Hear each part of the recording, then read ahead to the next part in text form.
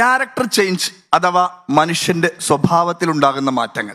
നമ്മുടെ നാട്ടിൽ ഓന്ത് നിറം മാറുന്ന പോലെ സ്വഭാവം മാറുന്ന ആളുകളാണ് രാഷ്ട്രീയക്കാർ അപ്പോൾ ഒരു ഇലക്ഷൻ വരികയാണെങ്കിൽ നമ്മുടെ വീട്ടിലെ കറിച്ചട്ടി മുതൽ കറിപ്പാത്രം വരെ കഴുകി തരും അത് പഞ്ചായത്ത് ഇലക്ഷൻ ആണെങ്കിൽ തീർന്ന്.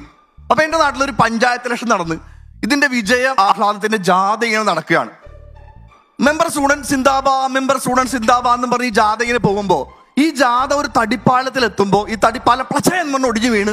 ഈ അണികളെല്ലാം വെള്ളത്തിൽ പോയി അപ്പൊ ഒരു അണി വെള്ളത്തിൽ കിടന്ന് പറയുക പാലം പോണേ പൊക്കോട്ടെ പുതിയത് ഞങ്ങൾ പണിതിടും.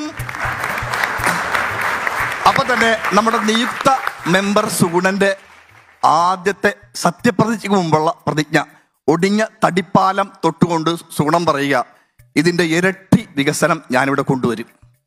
കൊണ്ടുവന്ന് ഒരു തടിപ്പാലം ഇവിടുന്ന് ഇപ്പൊ രണ്ട് തടിപ്പാലം ഒക്കെ ഇട്ടുണ്ട് മൂന്ന് വർഷം കഴിഞ്ഞ് മെമ്പർ സൂടം വരെ ഇങ്ങനെയാണ് അവിടെ കൂടെ പോണത്.